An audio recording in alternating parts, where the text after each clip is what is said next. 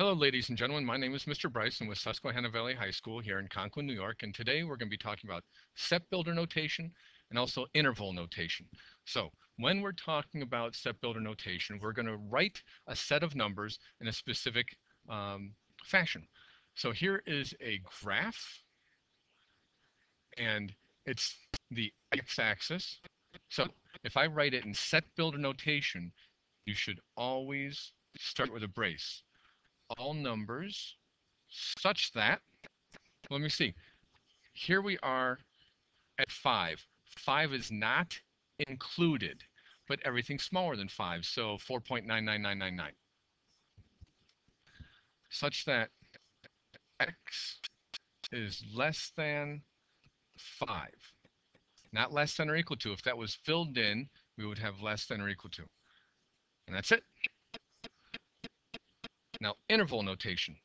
Interval notation, if you notice, our smallest number, wait, there isn't a smallest number. It just keeps on going towards negative infinity. So, interval notation. We have to start with our smallest number. Our smallest number is negative infinity. Since that's not an actual number that you can stand on, we have to have a parenthesis here because it's close to, not exactly. All the way up 2, our largest number is 5, but it's not included, so that is still a parenthesis. Well, what happens if we want to have a specific set of numbers, finite set of numbers, finite set of numbers, it's limited. So, set builder notation. We start with the brace, all numbers x, such that, now we're in between. We're not going infinitely to the left. We're not going infinitely to the right. So we are in between. And we're in between these two numbers. So x is in between those two numbers. So I'm going to put an x in the middle, and we're in between. Notice I immediately drop down some less than symbols.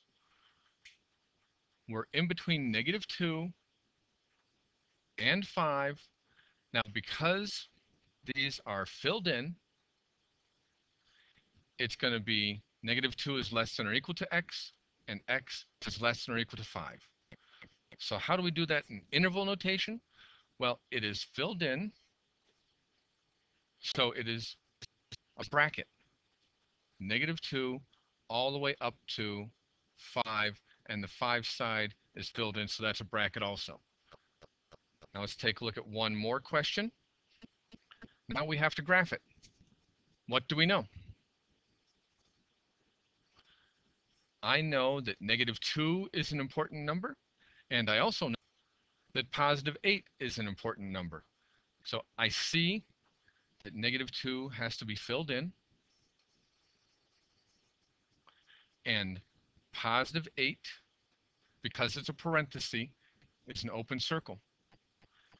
And when you do something in interval notation. We're going to be filling between them. There is set builder and interval notation. If you have any questions, make sure you ask me in class.